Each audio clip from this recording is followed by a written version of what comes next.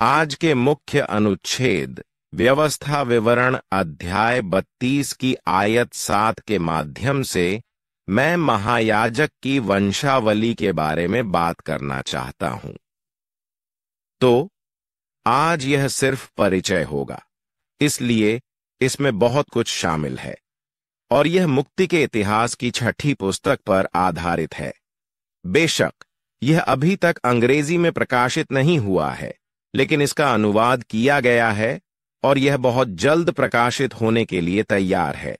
इसलिए मैं विश्वास के साथ कह सकता हूँ कि शायद इस साल के अंत में या अगले साल की शुरुआत में, और इसलिए यह जाने के लिए तैयार है और चीज़ें, आप जानते हैं, आगे बढ़ रही हैं। और इसलिए यह आपको छठी पुस्तक के बारे में समझने में मदद करेगा। यह बस एक तरह से सामान्य अवलोकन। और सबसे पहले, हम वंशावली के बारे में बात करना चाहते हैं। तो सबसे पहले, इसका कार्य क्या है? वंशावली का अध्ययन करने का कार्य और महत्व क्या है? तो फिर सामान्यतः, वंशावली का अध्ययन क्यों करें? क्यों अध्ययन करें?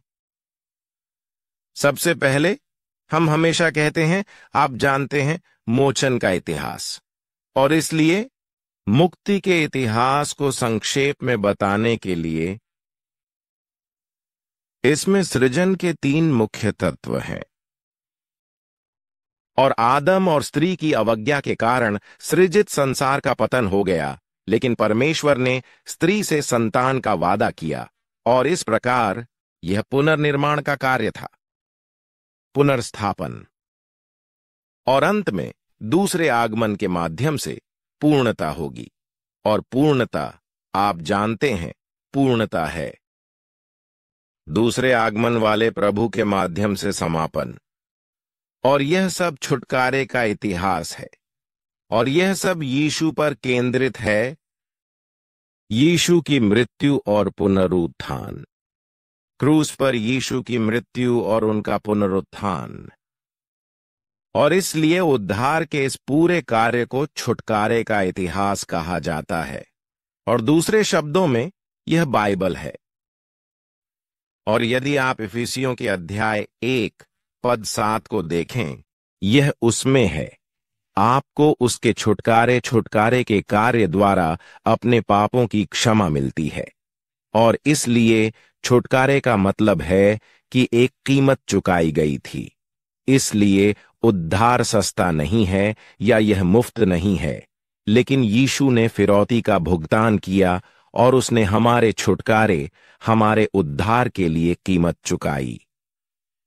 और इसलिए वह उत्पत्ति अध्याय तीन, श्लोक पंद्रह की पूर्ति बन जाता है, जहाँ परमेश्वर ने वाचा के रूप में वादा किया था कि मैं सर्प के सिर को कुचलने के लिए स्त्री के बीज को भेजूँगा।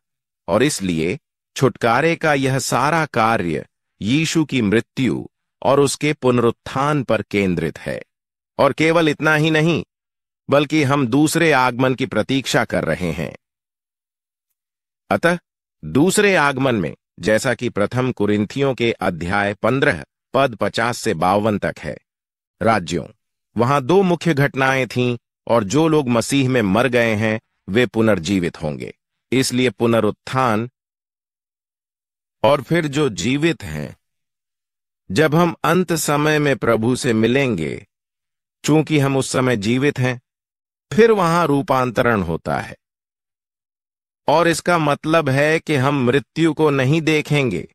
बल्कि हम आध्यात्मिक शरीर में परिवर्तित हो जाएँगे और हम स्वर्ग में जाएँगे और हवा में प्रभु से मिलेंगे और सभी से मिलेंगे। और इसलिए यह मोचन का इतिहास है, लेकिन यह वास्तव में है। यह सिर्फ़ मुक्ति का इतिहास नहीं है, बल्कि यह इतिहास है। मेरा मोचन या हम कह सकते हैं हमारा मोचन। और इसलिए यहाँ यहाँ हम अंत के समय में उद्धारकर्ता के आगमन के निकट खड़े हैं। दूसरे भगवान तो ये हमारा है। आप यहाँ हैं।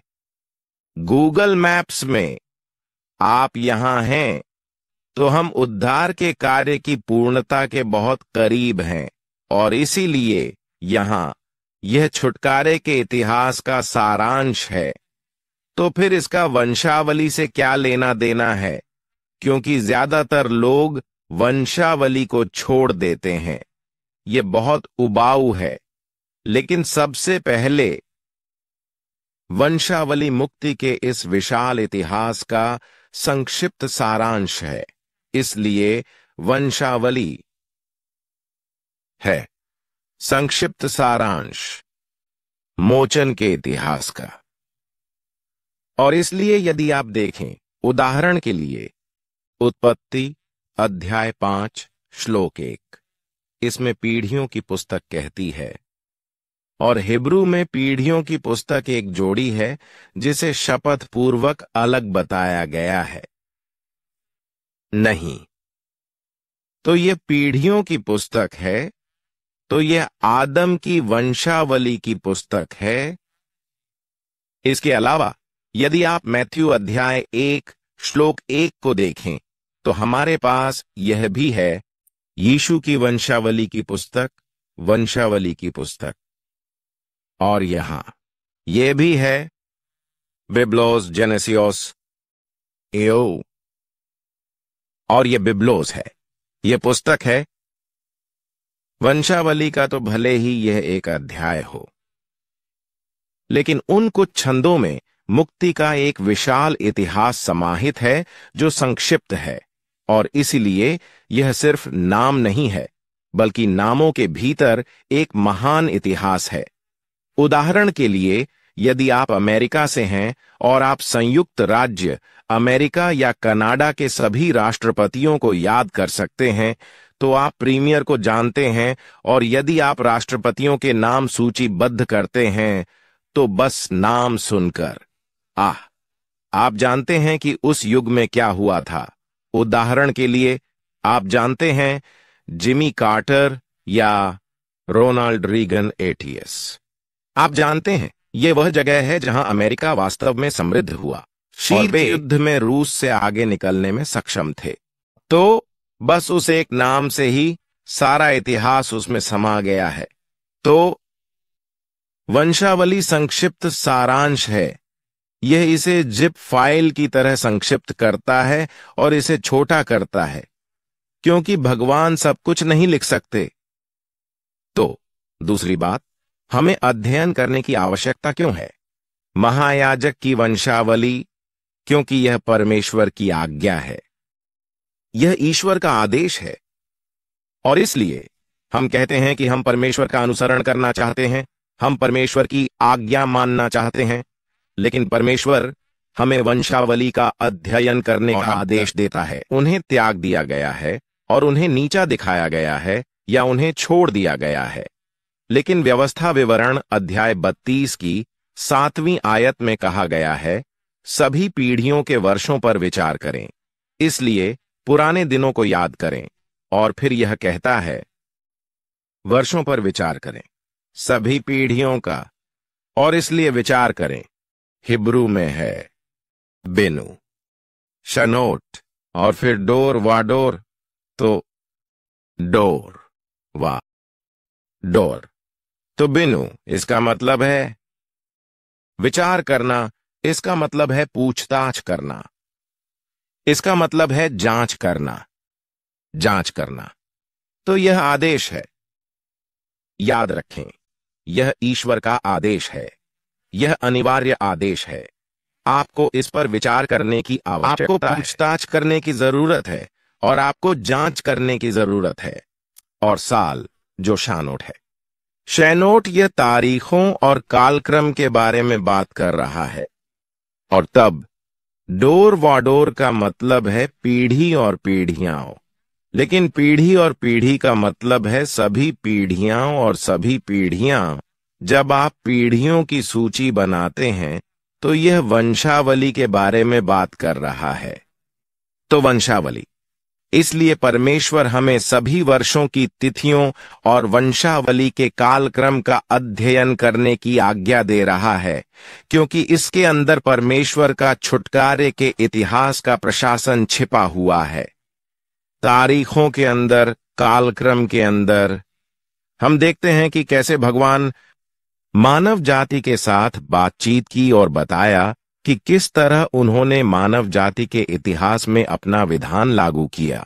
और जब हम ये गणना करते हैं तो हमें इतिहास में परमेश्वर की कृपा और उसके संप्रभु कार्य का पता चलता है।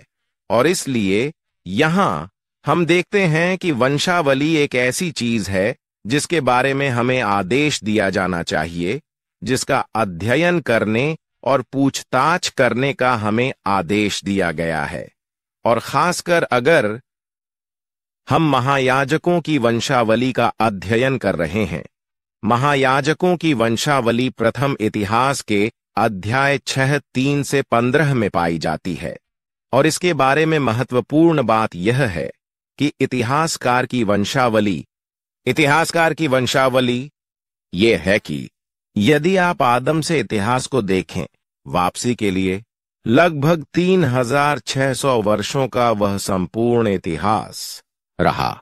इतिहासकार की वंशावली में संक्षेपित, महत्वपूर्ण बात यह है कि यह वंशावली कहाँ दिखाई दे रही है, और यह उनके सत्तर साल के बेबीलोन की कैद के ठीक बाद दिखाई देती है। इसलिए आपको ऐतिहासिक संदर्भ को समझना होगा कि उन्होंने सत्तर साल बेबीलोन की कैद में बिताए थे। वे वापस आ गए हैं। और अधिकांश विद्वानों का मानना है कि यह एजरा ही थे जिन्होंने पुराने नियम को एक साथ रखा और उन्होंने यह वंशावली संकलित की और उन्होंने इस वंशावली को संकलित करने का कारण यह था कि लोग अपनी आध्यात्मिक जड़ों को न भूलें। और इसलिए यह वंशावली सत्तर साल बाद दिखाई देती है। और यह हमें बताती है कि इज़राइल के पाप और अवज्ञा के बावजूद परमेश्वर ने उन्हें नहीं छोड़ा। लेकिन सत्तर साल बाद भी परमेश्वर ने अपना वादा निभाया और परमेश्वर ने उन्हें फिर से बहाल किया और उन्हें वादा किए गए देश में वापस लाया। और यह वंशावली इस बात का सबूत है कि अंधकार के इस दौर के बावजूद छुटकारे का इतिहास बिना रुके लगातार आगे बढ़ रहा था और पूरा हो रहा था। और इसीलिए इस इतिहासकार की वंशावली बहुत महत्वपूर्ण है और खास तौर पर इस इतिहासकार की वंशावली लेवी के गोत्र पर आधारित है, जो महायाजक का गोत्र है और यहूदा का गोत्र। इसलिए महायाजक की इस वंशावली के माध्यम से हम आध्यात्मिक दुनिया आध्यात्मिक दुनिया को समझने के लिए महायाजक वे होते हैं जो आध्यात्मिक चीज़ों, उपासना के प्रभारी होते हैं और इस इतिहास की वंशावली के माध्यम से हम परमेश्वर के ज्येष्ठ पुत्र के प्रवाह और आध्यात्मिक दुनिया के प्रवाह को समझने में सक्षम है जहाँ परमेश्वर की इच्छा और उसका कार्य टिका हुआ था। और इसलिए हम इतिहास की वंशावली या महायाजक की वंशावली का अध्ययन कर रहे हैं। और इसलिए हमारे लिए अध्ययन करना बहुत महत्वपूर्ण है। मुझे विश्वास मेरा मानना है कि क्या कोई उस पर ताला लगा सकता है? ठीक है धन्यवाद। इसलिए रोमियो, अध्याय ग्यारह। श्लोक उनतीस में कहा गया है कि एक बार जब परमेश्वर हमें बुलाता है तो वह हमें त्यागता नहीं है। इसलिए रोमियो के अध्याय ग्यारह की आयत उनतीस में कहा गया है कि परमेश्वर के उपहार और बुलाहट अपरिवर्तनीय है, और इसलिए एक बार जब परमेश्वर हमें बुलाता है और वाचा स्थापित करता है तो वह हमें इसलिए नहीं छोड़ता क्योंकि हम पाप करते हैं या हम अवज्ञा करते हैं, या इसलिए कि हम गलतियाँ करते हैं। लेकिन परमेश्वर के उपहार और बुलाहट अपरिवर्तनीय हैं। वह अंत तक हमें थामे रखता है। हम ही हैं जो उसे दूर भागते हैं। हम ही हैं जो उसे दूर चले जाते हैं। लेकिन हमें परमेश्वर के साथ चलते हुए जीवन जीने की ज़रूरत है। कैन की तरह नहीं जो परमेश्वर से दूर चला गया। और इसलिए मैं प्रार्थना करता हूँ कि आप विश्वास कर सकें कि आप अपने जीवन में जहाँ भी हों कि परमेश्वर आपके साथ है, कि परमेश्वर आपके कष्टों और क्लेशों के दौरान आपके साथ है, कि परमेश्वर अंत तक आपका साथ दे रहा है। और मैं प्रभु के नाम पर आप पर यह प्रार्थना और आशीर्वाद देता हूँ। आमीन। दूसरा, हम महायाजक को देखेंगे। इसीलिए हमने वंशावली का अध्ययन करने के महत्व के बारे में अध्ययन किया, जो बहुत महत्वपूर्ण है। दरअसल पूरी बाइबल वंशावली है। इसकी शुरुआत वंशावली से होती है। बीच में वंशावली है। नया नियम वंशावली से शुरू होता है। यह वंशावली के साथ ही समाप्त होता है। यह जीवन की एक बड़ी पुस्तक है। सभी लोगों की वंशावली जो छुड़ाए गए हैं और इसलिए हम महायाजक की वंशावली का अध्ययन कर रहे हैं। तो आइए महायाजक पर नज़र डालें। उच्च पुजारी के लिए दो अभिव्यक्तियाँ हैं। हिब्रू, इसलिए कोहेन। गडोल, और कोहेन रोश। तो ये कोहेन, गडोल, और कोहेन रोश। तो कोहेन गदोल का मतलब है महान पुजारी। इसका अर्थ है आदरणीय पुजारी। और ये कोहेन रोश है। तो कोहेन का मतलब स्पष्ट रूप से पुजारी है। रोश इसका मतलब है प्रधान पुजारी। यह प्रथम पुजारी या प्रधान पुजारी की तरह है। और प्रतिनिधि पुजारी भी। पुजारी का प्रतिनिधित्व। तो ये उच्च पुजारी के लिए दो मुख्य अभिव्यक्तियाँ हैं। कोहेन गदोल और कोहेन रोश। और इसलिए जब हम इन उच्च पुजारियों और उनकी भूमिकाओं को देखते हैं तो उनकी भूमिकाएँ अलग अलग होती हैं। और तो सबसे पहले, महायाजक की भूमिका क्या है? यह करने के लिए है, नेतृत्व करना। पूजा में। और बलिदान। इसलिए, यदि आप इब्रानियों अध्याय आठ की आयत तीन को देखें। मैं इसे थोड़ी देर बाद देखूँगा। इब्रानियों अध्याय नौ की आयत सात। पुजारी मंदिर की चीज़ों के प्रभारी थे।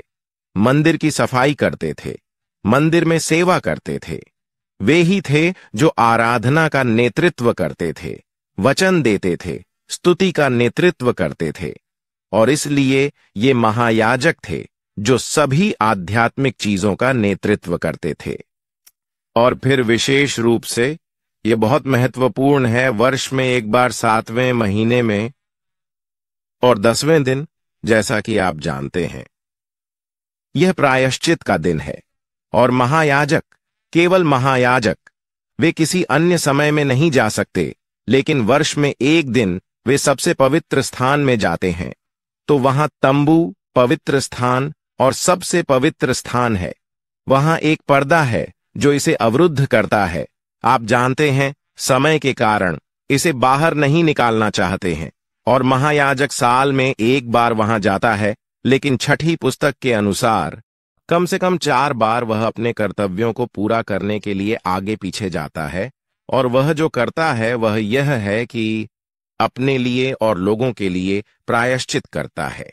इसलिए, यह प्रायश्चित का दिन है। और यह सामग्री लैव्य व्यवस्था सोलह, उनतीस और लैव्य व्यवस्था, अध्याय सोलह की बारहवीं आयत में पाई जाती है। इसलिए, हम अपनी समझ के लिए इन अंशों को देखेंगे। ठीक है। आइए, सबसे पहले इब्रानियों अध्याय आठ की आयत तीन पर जाए। यहाँ बहुत बढ़िया अर्थ है। यहाँ बहुत गहराई है। ये बहुत बढ़िया है। इब्रानियों आठ तीन को देखो। चलो इसे एक साथ पढ़ते हैं। हर महायाजक को उपहार और बलिदान दोनों को चढ़ाने के लिए नियुक्त किया जाता है। इसलिए यह आवश्यक है कि इस महायाजक के पास भी हो। इसलिए महायाजक भेंट और बलिदान चढ़ाते हैं। वे उपासना के प्रभारी थे। आइए इब्रानियों 907 पर जाएँ। लेकिन दूसरे में केवल उच्च पुजारी वर्ष में एक बार प्रवेश करता है। बिना खून लिए, जिसे वह अपने लिए और लोगों के अज्ञानता में किए गए पापों के लिए चढ़ाता है। तो दूसरा सबसे पवित्र स्थान के बारे में बात कर रहा है, और यह साल में एक बार होता है, तारीख सातवें महीने और दसवें दिन होती है। आइए लैव्य व्यवस्था, सोलह की उनतीसवीं आयत पर चलते हैं। इसमें तारीख दी गई है और बारहवीं आयत बताती है कि वह पहली बार कैसे प्रवेश करता है, धूपदान और धुएँ के साथ। आइए लैव्य व्यवस्था, अध्याय सोलह की उनतीसवीं आयत पढ़ें। मैं इसे आपके लिए पढ़ूँगा और यह आपके लिए एक स्थायी नियम होगा। सातवें महीने के दसवें दिन को तुम अपने मन को दीन करना और किसी प्रकार का कामकाज नहीं करना, चाहे वह देशी हो या तुम्हारे बीच रहने वाला परदेशी।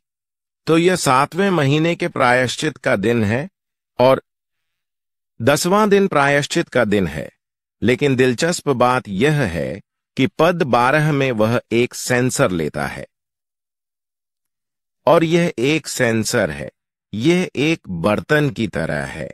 एक बर्तन के बारे में सोचो, वह होम बलि की वेदी से कोयले लेता है, वेदी। होम बलि का, और फिर वह इसे धूप के साथ मिलाता है। इसलिए यह उच्च पुजारी मेरे लिए खेद है। असमर्थता वह इस सेंसर को ले जा रहा है। होम बलि की वेदी से कोयले लेता है, इसे धूप के साथ मिलाता है, और यह धुएँ जैसा है। यह और यह बादल की तरह है, और धुएँ के रंग का, और वह सबसे पवित्र स्थान में प्रवेश करता है। आइए बारहवीं आयत देखें। यह यहाँ बहुत दिलचस्प है। ठीक है। लैव्य व्यवस्था सोलह आयत बारह तैयार है। शुरू करें। और वह यहोवा के आगे वेदी पर से अंगारों से भरा एक तवा और दो मुट्ठी बारीक पिसी हुई सुगंधित धूप लेकर पर्दे के भीतर ले आएगा। तो मुझे लगता है कि मुझे इसे सुखाने की ज़रूरत है। तो यहाँ मंदिर है। यह पूर्व दिशा है। यह द्वार है जैसे ही तुम अंदर प्रवेश करोगे, यह वेदी है होम बलि के लिए, और यह जल है श्रम श्रम, यह है पवित्र स्थान और यह सबसे पवित्र स्थान है। और इसलिए सामने पर्दा भी है, धूप की वेदी। वह पर्दे से होकर गुजरता है, और अब वह इस परम पवित्र स्थान में जाता है। दिलचस्प बात यह है कि यहाँ सब कुछ सोना है। और इसलिए अब यह बहुत धुआंधार है। और परमेश्वर की उपस्थिति उस स्थान पर उतर रही है। तो यह किस ओर इशारा कर रहा है? इसलिए यह बहुत बादल छाए हुए हैं और धुआँ उगल रहा है। परमेश्वर इस उपस्थिति में नीचे आ रहे हैं और यह दूसरे आगमन में बादलों में नीचे आने वाले प्रभु मनुष्य के पुत्र की छाया है। और आप जानते हैं कि जब मैंने पूर्णता के बारे में बात की थी, जहाँ हम रूपांतरित होते हैं और हम पुनर्जीवित होते हैं, और इसलिए यह उस कार्य की एक तस्वीर है और उस ओर इशारा करता है, और इसलिए प्रभु हमेशा माउंट सिनाई जैसे बादल में नीचे आते हैं, जब वे बादल का वचन प्राप्त करते हैं, बादलों ने हवा को भर दिया, और गरज और बिजली चमकने लगी। और प्रभु नीचे आ गए। वे लोगों के पास चढ़ गए और इसलिए उसी तरह अंत समय में, दूसरे आगमन में, जब प्रभु हवा में आते हैं तो वे बादलों पर सवार होकर आएँगे, है ना? और इसलिए यह वही है जो यह इंगित कर रहा है। और वे हमारे लिए अनंत प्रायश्चित करने जा रहे हैं और इसलिए यह पूर्ण हो गया है। यह परिपूर्ण हो गया है। यह पूरा हो गया है। इसलिए हमें, आप जानते हैं अब और पूजा करने की आवश्यकता नहीं है, और हम स्वर्ग में जाएँगे। और इसलिए, यदि आप प्रकाशित वाक्य के दसवें अध्याय की पहली आयत को देखें तो उसमें लिखा है कि, शक्तिशाली स्वर्गदूत बादल ओढ़े हुए स्वर्ग से नीचे आया। और फिर, प्रकाशित वाक्य के चौदहवें अध्याय की चौदहवीं आयत में कहा गया है कि मनुष्य का पुत्र बादल पर सवार होकर आता है। और इसलिए यह महायाजक जब वह उस धूपदान को धुएँ सहित लेता है धूप बत्ती से। आप जानते हैं, यह प्रार्थना का भी प्रतिनिधित्व करता है और वह परम पवित्र स्थान में जाता है। तो यह उस शाश्वत प्रायश्चित की ओर इशारा करता है, जो दूसरे आगमन वाले प्रभु के समय आएगा, और इसलिए प्रभु बादलों में, धुएँ में आते हैं। मैं प्रार्थना करता हूँ कि हमारे पास दूसरे आगमन वाले प्रभु हमारे पिता से मिलने का विश्वास हो। जब वह हवा में आते हैं, और वे लोग बने जो उनके आगमन पर जागते और सतर्क रहते हैं, और जब हम जागते हैं तो हम मसीह की सच्ची दुल्हन बन सकते हैं, और मैं प्रार्थना करता हूँ, और प्रभु के नाम पर आप पर इसका आशीर्वाद देता हूँ। आमीन। इसलिए उन्होंने आराधना और बलिदान का नेतृत्व किया।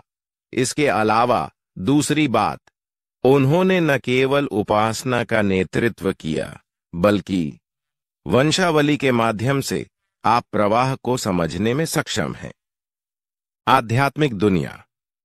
इसलिए अब हारून पहला महायाजक था।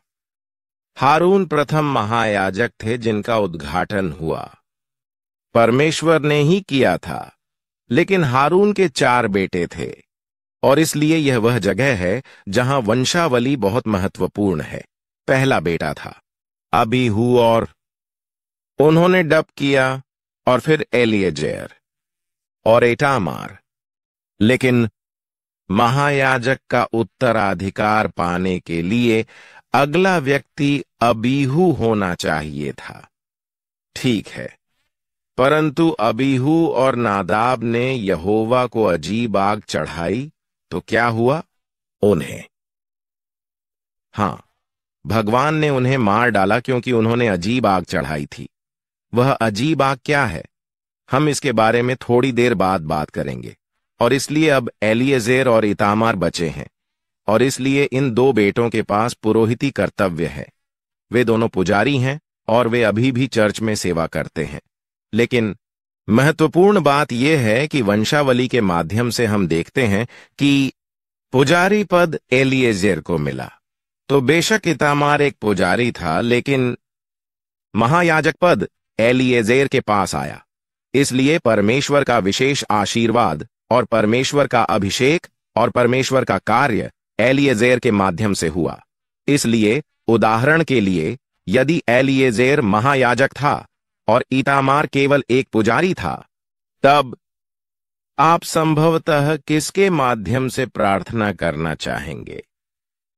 ईश्वर की इच्छा जिस व्यक्ति पर टिकी है, उस तक पहुँचना। ईश्वर का अभिषेक। हम वरिष्ठ पादरी फिलिपली के पास प्रार्थना के लिए क्यों जाते हैं? क्योंकि वह वह व्यक्ति है जिसे ईश्वर ने हमारे चर्च का वरिष्ठ पादरी बनने के लिए चुना है। वह वह व्यक्ति है जिसे हमारा वरिष्ठ पादरी बनने के लिए अभिषेक किया गया है।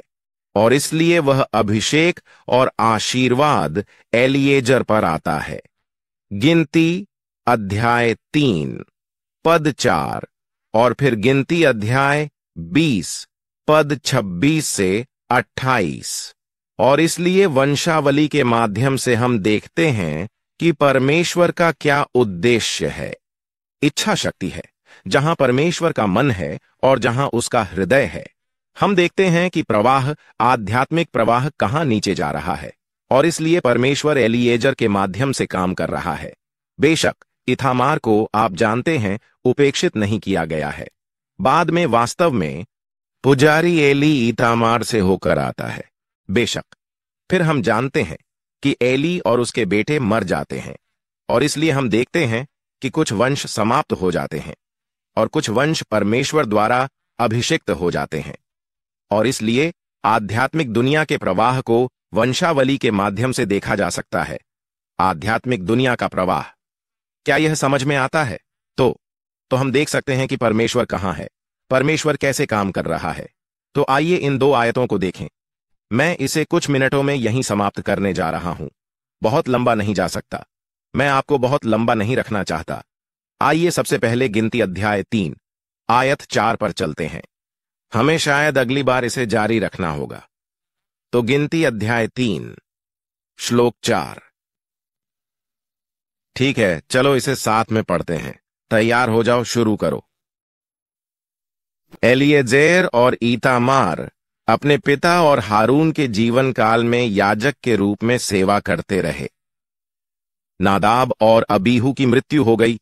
और इसीलिए एलिएजेर और ईतामार ने याजक का पद संभाला। लेकिन हम देखते हैं कि परमेश्वर की इच्छा एलिएजेर पर टिकी हुई है। आइए, गिनती पर नज़र डालें। अध्याय 20 श्लोक 26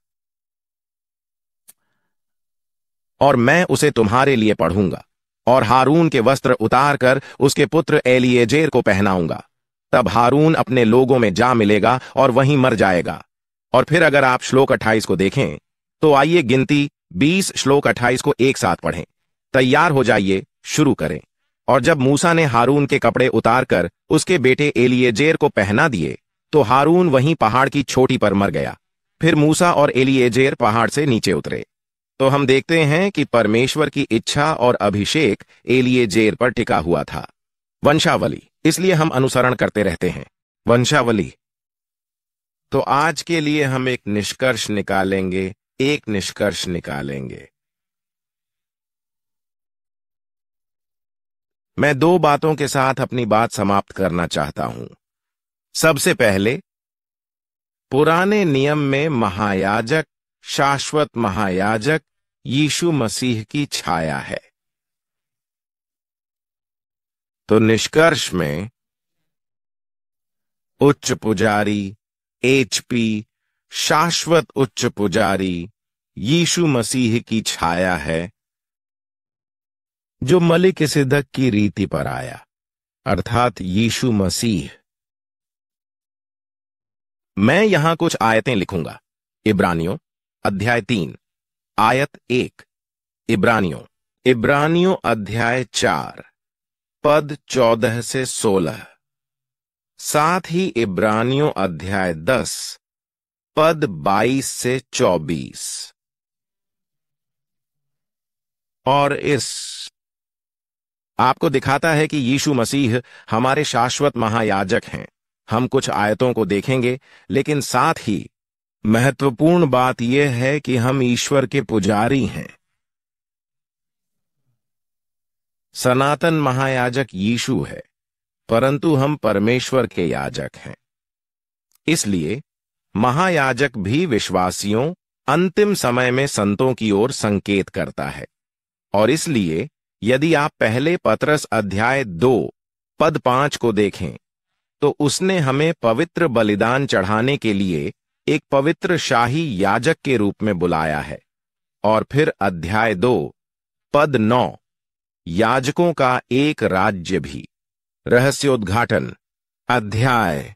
एक श्लोक छह कहता है कि हम याजकों का एक राज्य हैं, और इसलिए अंत के समय में या नए नियम में हमें परमेश्वर की आराधना और बलिदान चढ़ाने के लिए याजकों के रूप में बुलाया गया है।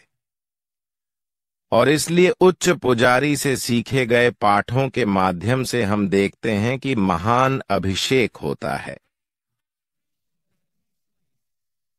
पवित्रता और ईश्वरीयता हम आराधना को हल्के में नहीं ले सकते।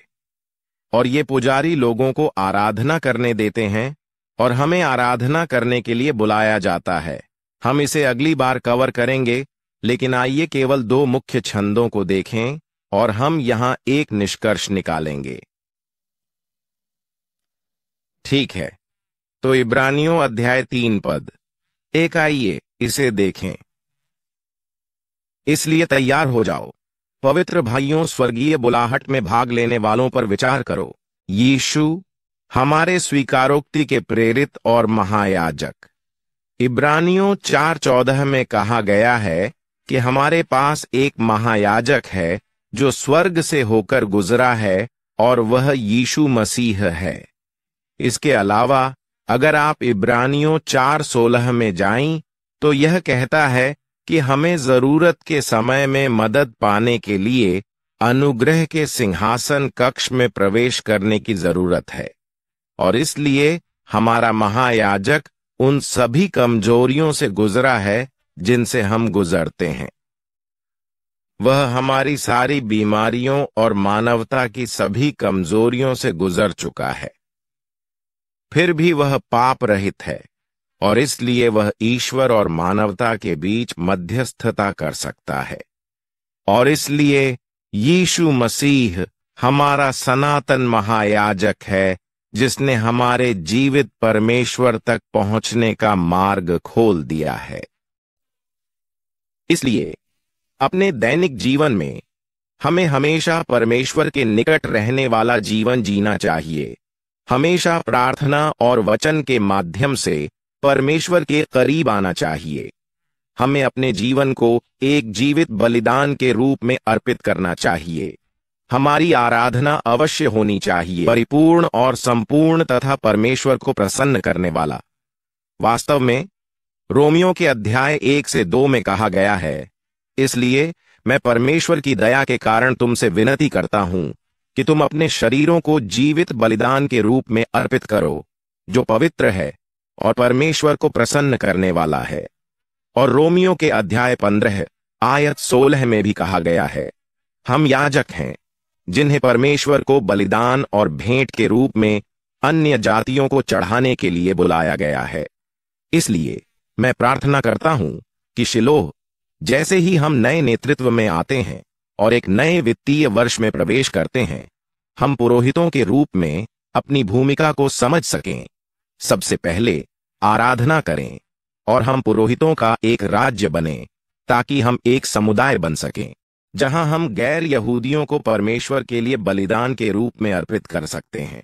यह सुसमाचार प्रचार है, और इसलिए नेता इसके बारे में बात करेंगे, लेकिन भविष्य में वरिष्ठ पादरी ने हमें मार्गदर्शन दिया।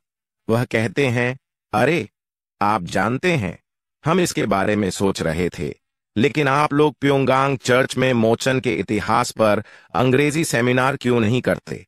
और इसीलिए, आप जानते हैं, हम एक संयुक्त सेमिनार, अंग्रेज़ी बोलने वाला, शायद पहली बार मोरिया में कर सकते हैं। आप जानते हैं, high school, junior high, Hephzibah, गुरु टोगी, पुरुषों की सेवकाई, महिलाओं की सेवकाई, जोसेफ सभी अंग्रेज़ी लोगों को लाते हैं और अंग्रेज़ी की पूजा करते हैं और एक सेमिनार करते हैं, वरिष्ठ पादरी उपदेश देते हैं और हमारे मंत्री उपदेश देते हैं। तो ये नई दृष्टि और नई दिशा, नई चीज़ें हैं जिनके बारे में हमें सोचने की ज़रूरत है। अगले साल होरा यूनाइटेड कॉन्फ्रेंस है, जिसका नेतृत्व हेबजिबा करेंगे। वहाँ घोषणा होने जा रही है और बहुत सी चीज़ें हैं जो भगवान ने हमें करने के लिए दी हैं और वरिष्ठ पादरी के रूप में पिछले सप्ताह प्रचार किया गया। एक बार जब हम परमेश्वर द्वारा हमें दिया गया कार्य पूरा कर लेते हैं तो हम अपने पिता की महिमा कर सकते हैं। इसलिए मैं प्रार्थना करता हूँ कि हम अपने कार्य और अपनी भूमिका को समझ सकें। यीशु हमारे शाश्वत महायाजक हैं, जिन्होंने हमारे लिए परमेश्वर के पास जाने का मार्ग बनाया है और हम किसी भी समय उनके पास जा सकते हैं, और वे हमारे साथ सहानुभूति रखते हैं, और हमें हर दिन अपने शरीर को एक जीवित बलिदान के रूप में अर्पित करना चाहिए।